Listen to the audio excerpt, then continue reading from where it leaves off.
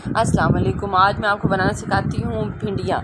ये सिंपल भिंडियाँ ये बहुत जल्दी बन जाएँगी। पहले मैं पिछली बार जो बनाई थी, वो मैंने अपनी यूनिक रेसिपी बनाई थी, जिसमें मैंने बनाया था आलू आलू भिंडी भिंडी आलू। तो इसमें मैं आलू नहीं डालूँगी, इसमें जस्ट सिंपल भिंडियाँ बनाऊँगी और आपको दिखाऊँगी कितने जल्दी ये बन जाती हैं। ठीक है, सब तो सबसे पहले हम पैन में या कढ़ाई में हम ऑयल डाल देंगे। जितना मैं डालती हूँ, मैं तो थोड़ा सा कम डालती हूँ, जैसे एक डोंगे की चम्मच डालती हूँ। तो उसमें मैं ये डाल रही हूँ जी कलौजी के कुछ दाने चुटकी, एक बिस्मिल्लाहिर्रहमानिर्रहीम। और उसके बाद इसमें मैं जो है ऑयल है, सादा ऑयल है। इसमें फिर मैं ये ज़ीरा जो है, साबुत ज़ीरा जो है ना, एक एक टीस्पून होता है, ठीक है? ये हाथ में इस इसका क्रश करके डाल रही हूँ। ये हाफ़ पहले मैं डाली है हाफ़ मैं और डाल लेती हूँ। तो पूरा पूरा टी स्पून इसको डालें और इसको अच्छे तरीके से ना ऑयल में मिक्स करें। इससे बहुत अच्छी फ्रेगरेंस आती है। जब मैंने पिछली बार वीडियो बनाई थी, उसमें तो मैंने टमाटर, प्याज और अदरक, लहसुन डाल के मसाला बनाया था। फिर उसमें भिंडियाँ जो थी, वो डाली थी। लेकिन इसमें जो है ना, मैं डायरेक्ट जो है ना ऑयल में जस्ट ये मसाले थोड़े से डाल के अदरक, लहसुन के साथ इसको फ्राई करूँगी। प्याज और टमाटर बाद में डालूँगी, ठीक है? तो एक टेबल स्पून हमने ले लिया जी अदरक, लहसुन का पेस्ट एक चम्मच लाल मिर्च, एक चम्मच धनिया पाउडर हाफ़ टी स्पून जी सॉल्ट ले लिया है मैंने, ठीक है? और और हमने डालना है हल्दी हल्दी पाउडर हमने डालना है हाफ़ टी स्पून ठीक है, ये सारे मसाले हमारे तो ये मिसालें लेकर अब हमारा ऑयल जो है ना बड़ा अच्छा जो है ना वो गर्म हो गया, उसमें ज़ीरा भी देखिए कितना अच्छा सा भुन गया।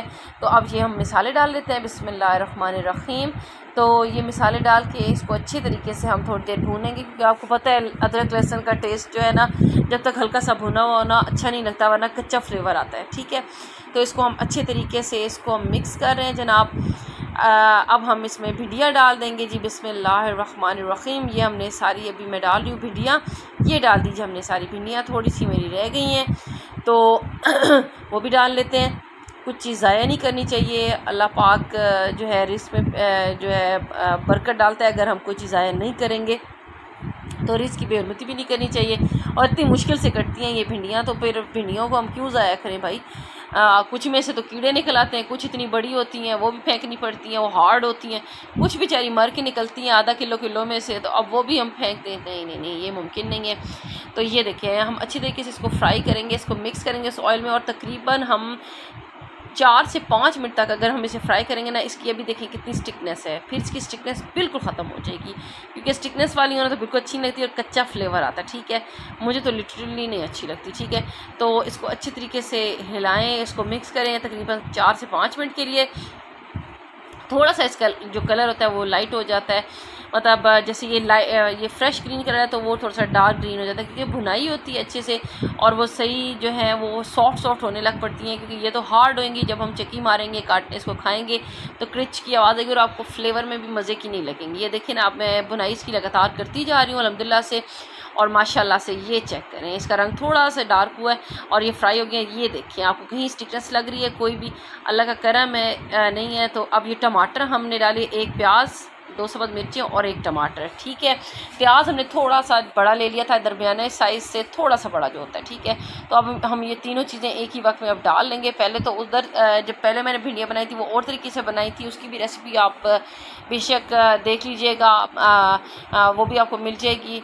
तो इसके बाद जनाब ये देखें, ये हमने ये सारे पहले प्याज डाले, उसके बाद जी मैं ये ग्रीन चिलीज़ डाल रही हूँ और आफ्टर दैट एंड पे मैं डालूँगी टोमेटोज़ और इसको अच्छे तरीके से जी मैं फिर मिक्स करूँगी ताकि ये इसमें मिक्स हो जाए, रच बस जाए और बड़ा मज़े का हो जाएगा। फिर इसकी क्रंचीनेस भी थोड़ी सी कम हो जाएगी क्योंकि मैं थोड़ा सा इसको भूनूँगी।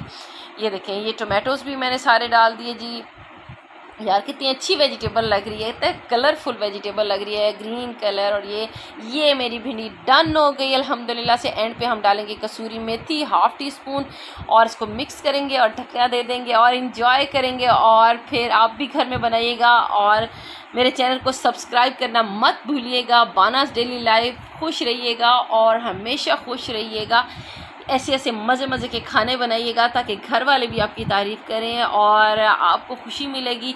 क्योंकि लिटरली जब मैं ऐसे खाने ये बनाती हूँ तो हस्बैंड बहुत तारीफ़ करते हैं। अल्हम्दुलिल्लाह, बच्चों से मैं ख़ुद पूछती हूँ कैसा लगा, वो भी अलहमदिल्ला कहते हैं, अच्छे लगे।